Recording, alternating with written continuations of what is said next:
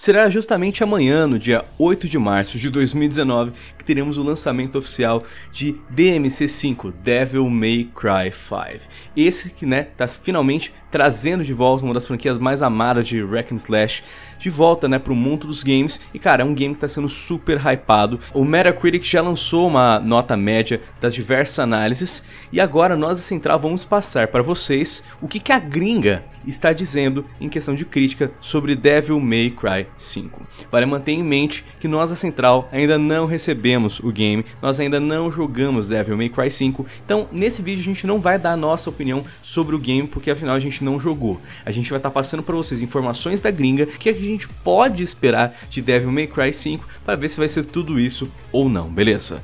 Galera, quem fala com vocês é o Lion da Central. Hoje eu tô aqui com o White e bora então ver o que, que eles estão falando sobre DMC5, né, cara? Esse tão aclamado e esperado título.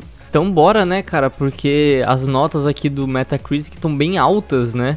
Estão bem absurdas, né? A gente tem aqui 88, 86, 91 as análises devem estar bem positivas do jogo, né? E, e, eu tô muito hypado pra esse jogo, eu quero muito jogar ele, cara. Tô assim, ó, me coçando já, tá ligado? Pra dar dia 8 pra poder jogar. Vale lembrar que agora a gente tá gravando esse vídeo no dia 7 de março, um dia antes da, da, da data de lançamento. E aqui nessa data, o game atualmente tá como o número 1, o melhor jogo de PC do ano até agora lançado de 2019 pro PC. Então o que acontece? Ele tá com uma média de 91 no Metacritic pro PC. Ele acabou de passar o Resident Evil 2 e agora a gente vai passar para vocês mais ou menos aí a média do que, que a galera tá falando, né? Quais são os principais focos de DMC e o que você pode esperar.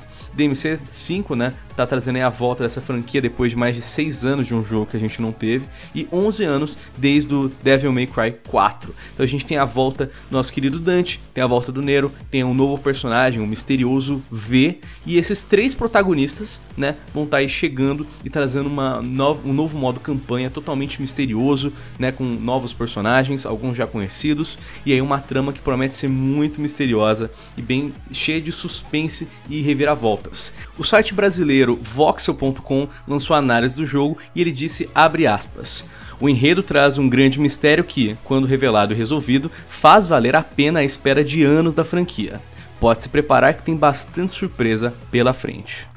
Ou seja, já está né, prometendo aí, de acordo com várias análises e como esse exemplo que a gente deu aí da Voxel, que a, a trama tá misteriosa, né? Tem novos personagens, tem personagens conhecidos e novos personagens que vai estar tá trazendo aí uma trama uh, misteriosa e que, cara, se for realmente fazer valer a pena todos esses anos, acho que não preciso nem dizer que vai ser uma das melhores campanhas que a gente já teve em toda a franquia, né, White? Sim, eu tô bem empolgado para saber sobre a campanha. O que mais me chama atenção, cara, é o personagem novo nessa campanha, velho. Uhum. Porque a gente não sabe praticamente nada dele, a gameplay dele é totalmente diferente, a gente vai comentar isso um pouco depois. E eu tô esperando muito, cara, para jogar com ele para tentar entender aí aonde que ele se encaixa nessa história toda, velho. Então a história deve estar tá bem envolvente, né? Que é o que a gente espera de um modo campanha. Então uhum. eu tô bem empolgado. Como você mesmo falou, né, do o V, que é um personagem totalmente diferente, e ele tá trazendo essa diferença não só pelo fato dele ser um personagem novo com uma história diferente e misteriosa, mas também pela gameplay, né? Vamos falar um pouco da gameplay do Devil May Cry 5.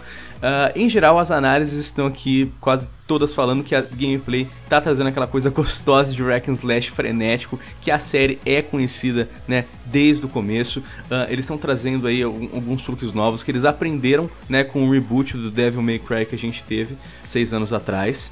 E aí ele também está trazendo né, uh, novas mecânicas. Então, por exemplo, o Nero tem os golpes padrões dele, né? Mas ele tem acesso a novas habilidades que vão sendo desbloqueadas ao longo do jogo. E você pode né, é, ir comprando as habilidades e modificações conforme você progride.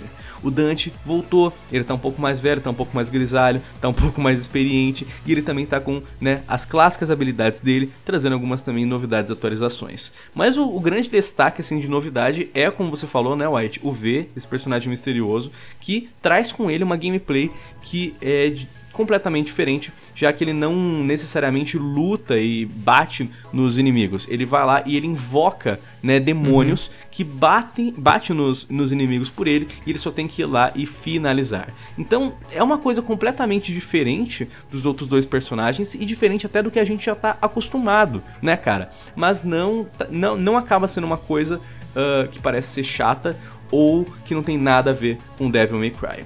Inclusive, o site americano IGN.com disse na própria análise quando ele citou sobre a gameplay que, abre aspas, a beleza do combate de Devil May Cry 5 está na profundidade, liberdade criativa e variedade que seus três conjuntos de ferramentas oferecem. Se você estiver jogando com Nero, essas ferramentas são sua espada, sua handgun, uma garra que pode puxar inimigos e um arsenal crescente, além dos Devil Breakers. Ou seja, dá pra ver, né, que pelas análises cada um realmente mantém a sua a sua seu estilo, essência. a sua essência, né, perfeito. Mas eles trazem coisas novas para a mesa e são únicos em si, né? Que é justamente o que a gente espera de ter nessa gameplay com três protagonistas, né, cara?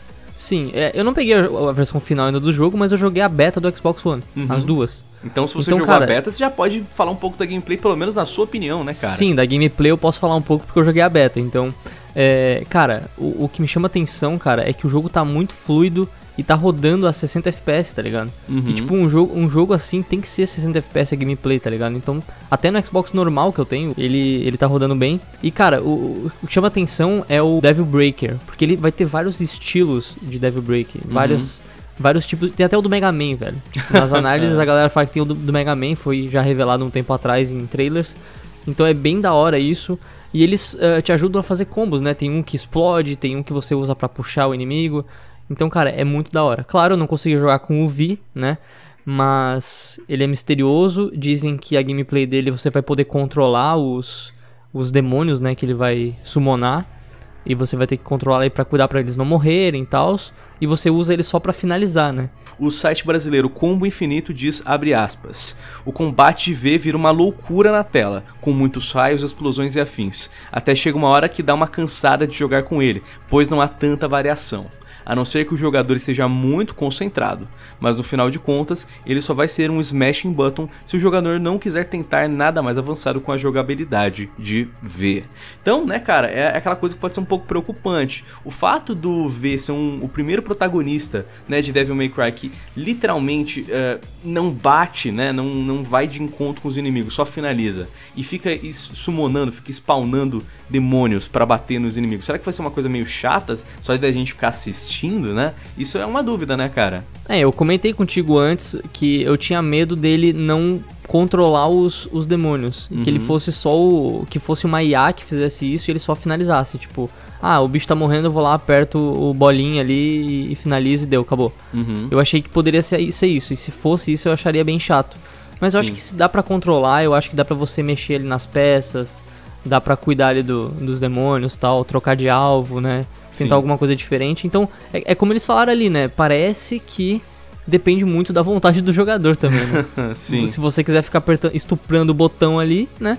Então vai ficar monótono depois de um tempo. É, é, legal porque você pode jogar com né, o, o, estilo de game que você quer, se você quer uma porradaria, se você quer ficar à distância, você tem as opções até porque, de acordo sim, sim. com as análises, né, vários sites já confirmaram que algumas missões específicas vão poder ser, uh, você pode selecionar qual dos três protagonistas você quer utilizar na missão. E olha, além de todos esses aspectos que a gente falou, né? Além dessa gameplay continuar frenética, tem a questão de você manter os combos, várias habilidades, vários estilos de jogo. Também tem a questão do jogo tá muito lindo, né, cara? Eu fiquei impressionado como o DMC ficou lindo nesse, nesse, nesse game, né, cara? Os Eles estão usando a. Eles estão usando a RE Engine, né? Do uhum. Resident Evil. Exatamente, né? a mesma é, engine do Resident Evil 7 e do Resident Evil 2 Remake. Então a Capcom caprichou no visual do, do game e parece que não foi só questão de trailers e gameplays uh, antes do lançamento. O próprio site brasileiro wall.com já disse que, abre aspas, além do excelente visual do jogo, um dos principais pontos que chamam a atenção a começar Devil May Cry é que a câmera pode ser movimentada livremente. Isso já estava presente em DMC Devil May Cry, mas era uma função limitada em DMC 4. Ou seja, além do game continuar lindo, ele também está trazendo novos aspectos técnicos que são a questão dessa câmera livre, né? Você não está mais preso, né? É uma coisa que eles aprenderam com o reboot do Devil May Cry, né, que a gente teve alguns anos atrás e trouxeram, né, parece que o melhor daquele jogo para esse novo Devil May Cry. Eu acho que é desenvolvedor aprendendo, né, a fazer o jogo, né, cara? Isso é muito bom. Sim, eu, eu prefiro até, eu prefiro até câmera livre, né? Apesar de que eu vi que algumas análises estavam reclamando da câmera. Uhum. Que por ela ser livre, muitos jogos que tem câmera livre, né, tem problema de quando você tá num local muito estreito, a câmera acaba atrapalhando. Então a gente tem exemplo aí, Kingdom Hearts 3, que eu joguei, fiz análise aqui pra vocês. Um dos pontos negativos do jogo é a câmera. Tem uns bosses assim que você se atrapalha todo. Final Fantasy XV também tem muito problema de câmera, porque tem vários corredores estreitos, né? Então, Devil May Cry tem essa câmera livre, mas também tem seus pontos negativos. Mas eu prefiro que tenha um pouquinho de erro ali na câmera, mas que esteja livre para eu poder fazer o que eu quiser, entendeu? Uhum. Olha, o game parece estar tá bem legal, as análises estão super positivas, tá todo mundo falando muita coisa boa, mas não significa também que o game é perfeito, né? Porque afinal, os críticos também estão reclamando da questão da campanha ser aparentemente curta, né? De acordo com as análises, o jogo leva pouco mais de 10 horas, né? 12, 13 horas para ser completado. E isso né, é um pouco triste considerando que o game é basicamente somente o modo campanha. Uh, fora isso, já foi confirmado né, que a Capcom anunciou que Devil May Cry 5 vai ter um modo Bloody Palace, né, o modo Horda, né, que vai, vai aumentando a dificuldade dos inimigos, mas essa expansão ainda não chegou. Ela vai ser uma DLC gratuita que vai chegar em abril. Mas, por hora, uh, estão falando pelo fato né, de que é só o modo campanha e não tem o Bloody Palace, o jogo acaba não tendo muito motivo para você continuar jogando depois que você termina a campanha. O próprio site, né, o All Games falou, abre aspas, em um game extremamente satisfatório e que deixa um gostinho de eu quero mais ao ser concluído, esse é um ponto negativo considerável, especialmente para quem decidiu desembolsar mais de 200 reais para adquirir uma cópia no lançamento do jogo. Ou seja, é realmente né, um aspecto negativo, né, cara? Você ter esse game que só tem uma campanha. Pode ser uma campanha incrível pelo que eles estão falando, mas é só a campanha e depois parece que você não tem mais motivo para continuar jogando. É, pensando por esse lado, né, pensando no nosso bolso, é uma questão que você tem que levar em conta, né? Porque uhum. hoje em dia é bem complicado você desembolsar uma grana dessa por um jogo, né? Tipo, a gente aqui, a gente recebe os jogos às vezes e gasta às vezes com alguns, mas a gente não compra todos os jogos. Pensa, uma pessoa que vai pagar aí 250 conto, acho que tá 250, né? Devil May Cry. Sim. Por, por 12 horas de campanha é, é complicado. Tem que ser muito fã, tá ligado? De hack and slash, tem que gostar bastante do jogo. A gente pega o Resident Evil, né? Que também é da Capcom. Ele tem um tempo de campanha pequeno, mas ele tem tipo três campanhas, quatro campanhas, né? Uhum. E ele tem ainda outros modos que chegaram depois, né? Na, na DLC, com, com várias vários caminhos. Quem é fã vai, vai querer jogar de qualquer jeito, né? Mesmo que fosse 5 horas, né? Então é basicamente uh, esses os aspectos mais fortes de Devil May Cry e a gente vê isso pelas análises, né, pelas notas. Diversos sites, o The Guardian deu uma nota 10 pro Devil May Cry 5.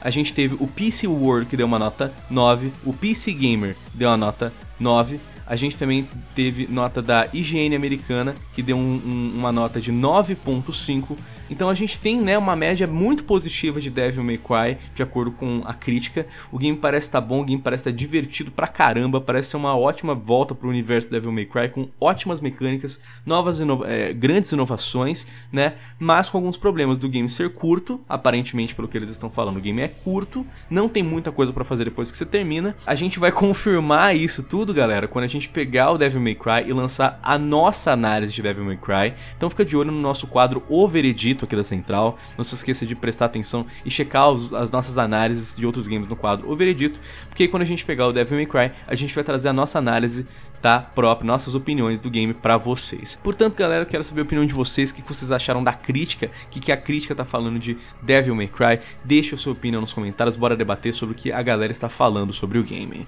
Lembre-se também de se inscrever aqui na Central, clicar no sininho de notificações, assim você não perde os próximos uploads. Enfim, galera, quem falou com vocês foi o Lion White, muito obrigado pela sua atenção, espero que vocês tenham um ótimo dia, uma boa sorte nos campos de batalha. Até mais!